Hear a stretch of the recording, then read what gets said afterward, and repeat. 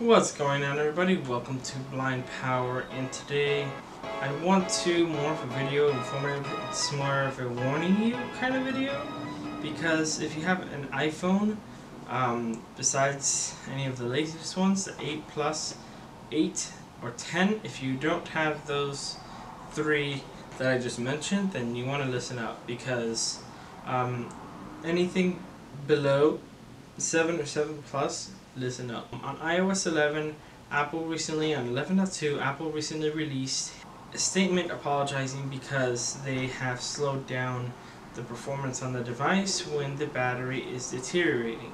If uh, you updated to 11.2 or anything above 11.2, uh, which was released a couple weeks ago, 11.2.1, um, you could potentially have a slow phone, okay? And you might notice this with the, the performance of VoiceOver or Zoom.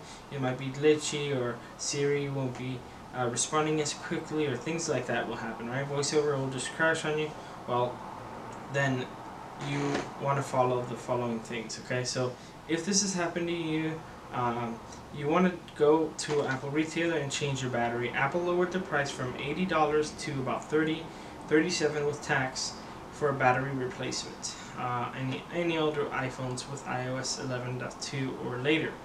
This is because um, depending on the uh, quality of your battery, the software that Apple has implemented will start slowing down your phone the more the battery gets deteriorated. Even if you have the 7 or 7 Plus, which is a very beefy phone, you know, and it can definitely do everything a day-to-day task, if you see that it's slowing down just a tidbit, I recommend replacing your battery on any of these older phones, okay?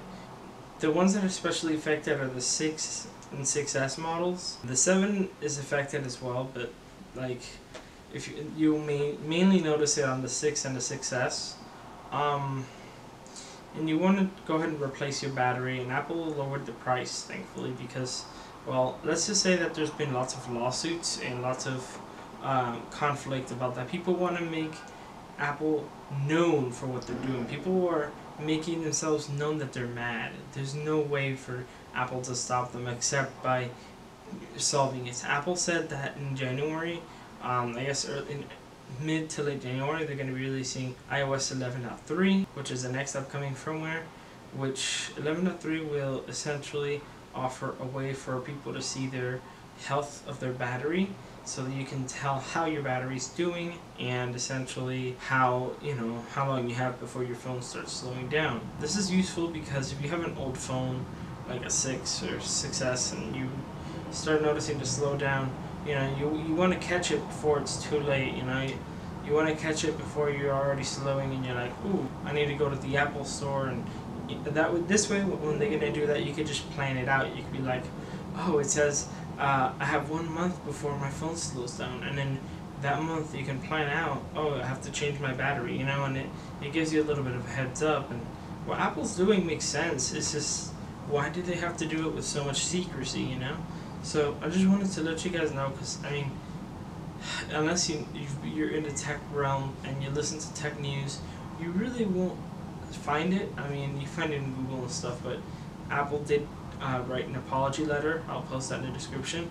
Honestly, I, I mean, I'm not going to say I'm not happy with them because they're doing what they're supposed to. They're trying to optimize the phones. However, you will get a battery health indication in your iPhone now, which is pretty cool. I'm definitely excited to see what that's going to mean for some of us. We're going to be able to see battery health and stuff, and honestly, it's going to help to not slow down your phone yeah, that's what they're gonna do. I just wanted to let you guys know so that you, so if you've been experiencing this, you know what to do. You don't have to upgrade your phone to a new phone or anything. You just have to replace your battery, which is only like 37 bucks here in the U.S. So hope you guys enjoyed this video, just as I enjoyed making it. I know it sucks that Apple's doing this, but they're gonna be finding a fix to it, hopefully. Um, and the fix is replacing your battery essentially. So, see you guys in the next video.